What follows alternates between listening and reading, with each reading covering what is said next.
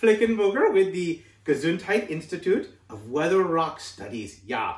And I am here to show you one of our greatest invention. So during this time of COVID-19, we have created something that I think every scout is going to want to have in the near future. Yeah.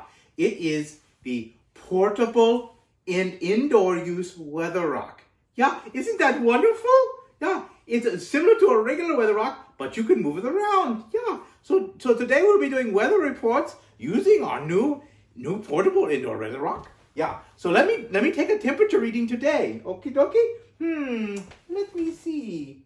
It appears to be the weather indoors is something between 67 degrees and 74 degrees. Yeah. Isn't that wonderful? It's so much more accurate than our old ones. Yeah.